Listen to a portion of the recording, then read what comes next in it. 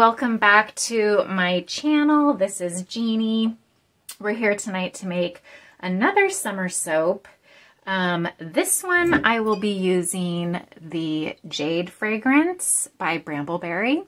This is a soap that I make um, every year. I've made it for the last three years and it's just a beautiful um, blend of fruits and florals, mostly florals. Um, I'm going to use this Alpine Green by Nurture Soap. I may add a little bit of spirulina powder to this color to get it a little bit deeper. I typically do that. Um, and for my lighter green, I'm going to use this Laurel Green, also by Nurture Soap. Um, and then in this soap, I always use uh, activated charcoal. I had to order from Amazon this time. Um, just price-wise, it worked out best. So let's uh, get started. I'm going to put some gloves on and we will make some soap.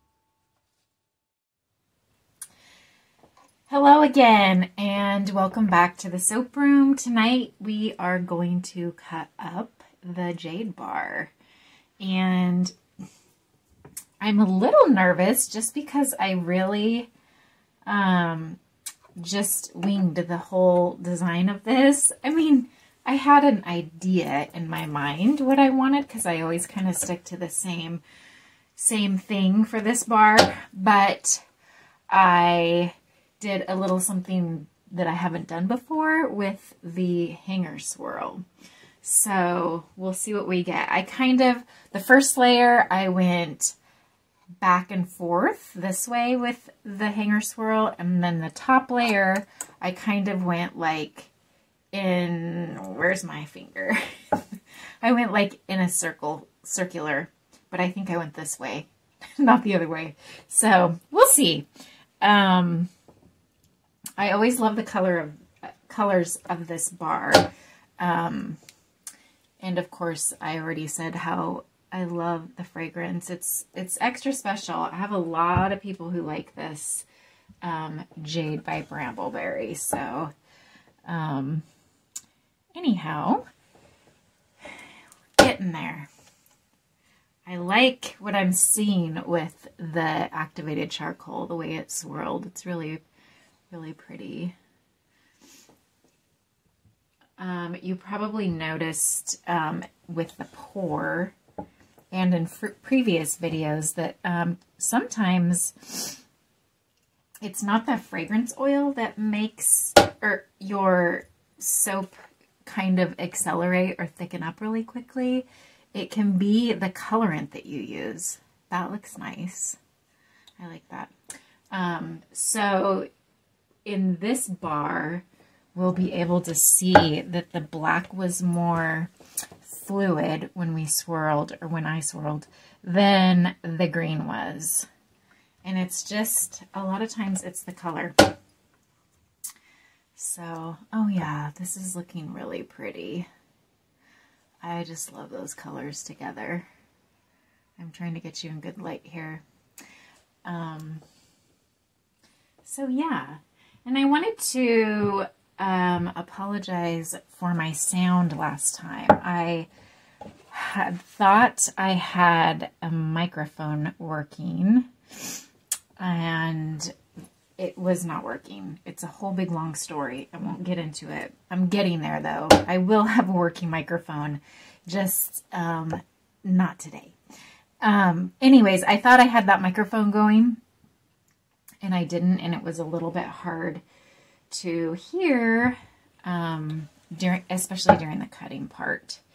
So this video may be the same. Hopefully not. I set up my camera a little bit different for the cut so that hopefully the sound would be better. Okay, gosh, I really loved the top of this soap. It looked so, I don't know, it just looks so pretty. I love how the color lays under the white. So, all right, you guys, this is pretty much it. Um, of course, like I always say, I'll wait about an hour, I'll trim it, I'll stamp it, and that's usually when I photograph my soaps, and then they go on the curing rack for um, about six to eight weeks. Um, that's how I like to do it. So anyways, you guys, thank you for joining me. Um, thank you for watching. I appreciate it. I hope you enjoy the content and I will see you on the next one.